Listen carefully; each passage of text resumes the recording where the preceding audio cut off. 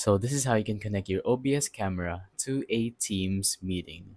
So what you're going to want to do is make sure that you have your camera under sources or make sure that you're first in a scene and under that scene you're going to want to put your camera in the sources tab. So I already have one here but unfortunately this PC is not currently connected to a camera. I will just walk you through it. If you want to add a camera, what you're going to want to do is simply add this, like tap on the plus button, and then tap on video capture device. Once you're here, you can either just rename it to whatever you want or don't. It doesn't really matter. I'm just going to put cam as in camera and make sure that this source is visible so that you can edit it later if you want to. Tap on OK and now choose the device.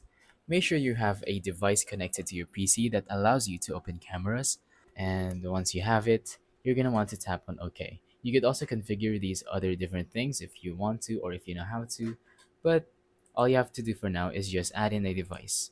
Now, once you have that over here, and you can see that your camera is working and it's showing you what the camera sees, you're going to want to open up Teams, and then when you get into a Teams meeting, it's going to ask you which camera you would like to use. Now, it's very important for you to tap on the OBS virtual camera section or the button that says OBS in it. But before you do that, make sure you look for the section where you can change your cameras. Either it's in the settings or maybe in the bottom right. Basically, you're just going to want to choose OBS and you will be free to use your OBS camera on your Teams meeting. So, thank you for watching. Don't forget to leave a like, subscribe, and let us know in the comments down below if the tutorial worked or if you have any questions. Thank you and goodbye.